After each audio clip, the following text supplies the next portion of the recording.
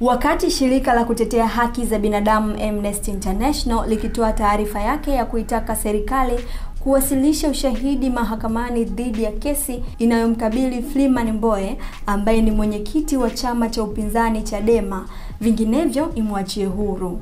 Mbowe anakabiliwa na kesi ya kupanga njama ya kufanya vitendo vya ugaidi.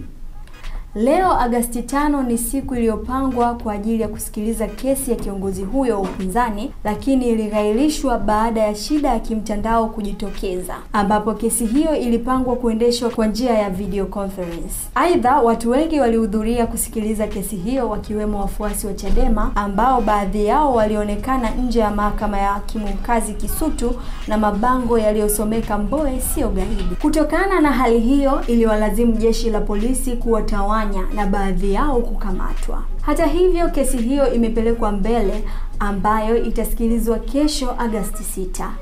Endelea kusubscribe chaneli yetu Spin Tanzania ili uweze kupata taarifa zaidi.